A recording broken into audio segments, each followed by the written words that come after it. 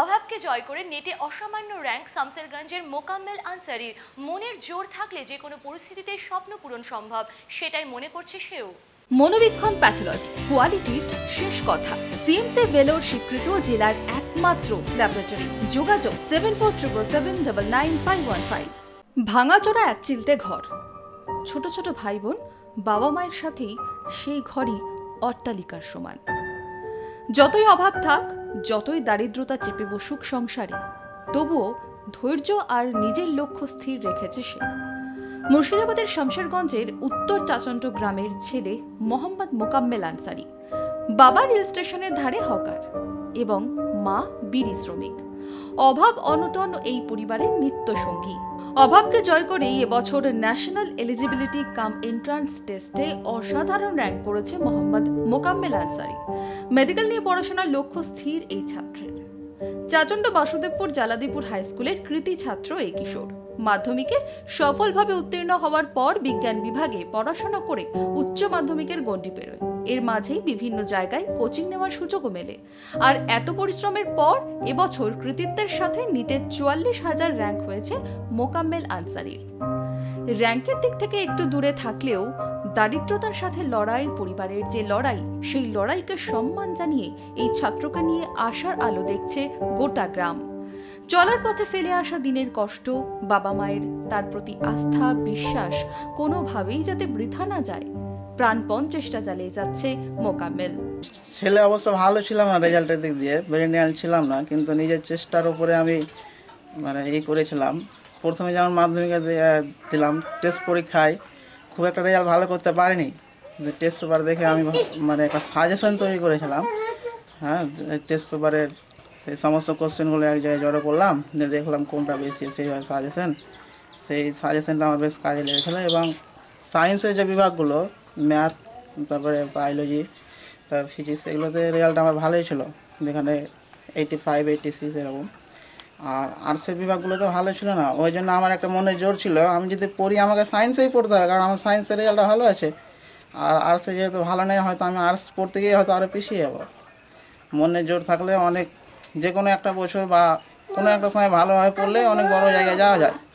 আর এই মনে জোর নিয়ে আমি এখনও চলছি।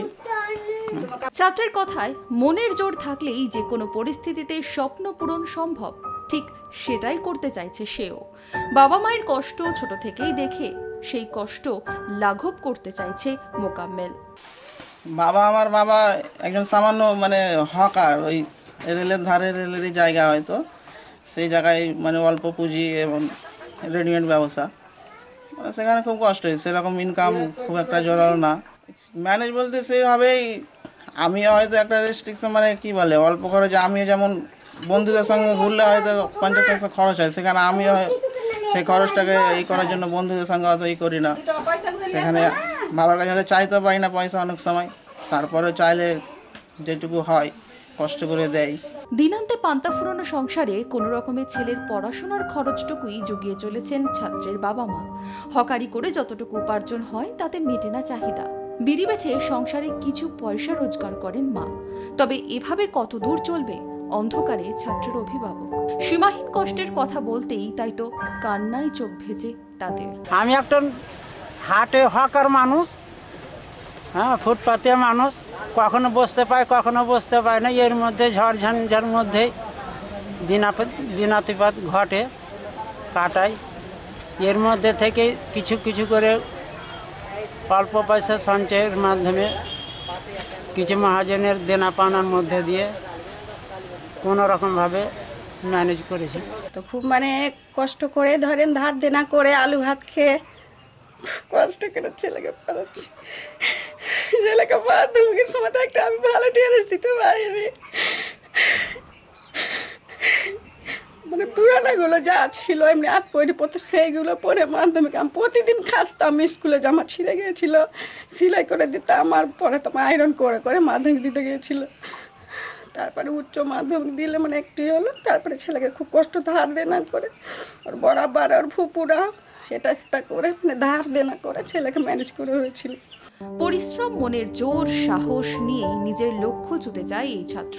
গর্বিত চাচণ্ড বাসুদেবপুর জালাদিপুর হাই স্কুলের প্রধান শিক্ষকও মোকাম্মেল আনসারির উজ্জ্বল ভবিষ্যৎ কামনা করলেন তিনি। প্রতিভাবান ছাত্ররা যাতে অর্থের অভাবে পিছিয়ে না পড়ে, সরকারিভাবে কোনো সহায়তার আবেদনও জানিয়েছেন আমাদের বিদ্যালয়ের একটা কীর্তি ছাত্র এখন এবছর কৃতিত্বের সাথে জয়েন্টে চান্স পেয়েছে, নিটে। এবং তার চুয়াল্লিশ হাজার র্যাঙ্ক হয়েছে। যদিও র্যাঙ্কটা একটু দূরে, কিন্তু তার দারিদ্রতার সাথে লড়াই, পরিবারের যে লড়াই, তাকে সামনে রেখে একটা আশার আলো আমাদের এলাকা তথা স্কুল দেখছে। এবং এই রকম একটা ছাত্রকে নিয়ে আমরা গর্বিত, যার বাবা রেলের ধারে হকারি করে, পরি ভাঙাচোরা বাড়িতে যে ছেলেটা বাস করে, যে পরিশ্রমের দ্বারা এতটা লক্ষ্যে এগোতে পারে তার একটা অন্যতম উদাহরণ হচ্ছে এ, মোকাম্মেল। মনের জোর আর মেধা নিয়েই বাবা মা ভাই বোনদের কষ্ট কমাতে চায় এই ছাত্র। দিন রাত এক করে দাঁতে দাঁত চেপে চলছে পড়াশোনা। নিজের পায়ে দাঁড়াতেই হবে। এই লক্ষ্য পূরণে কোনোভাবেই হার মানতে নারাজ মোহাম্মদ মোকাম্মেল আনসারি। কিন্তু পরিবারের আশঙ্কাও প্রবল। উচ্চশিক্ষার ক্ষেত্রে অর্থের অভাব বাদ সাধবে না তো। শমশেরগঞ্জ থেকে মাসুদ আলীর report, Madhyabanga news. Leela hospital, a multi speciality hospital, চব্বিশ ঘণ্টা ইমার্জেন্সি পরিষেবা। লীলা হসপিটাল, বহরমপুর, মুর্শিদাবাদ।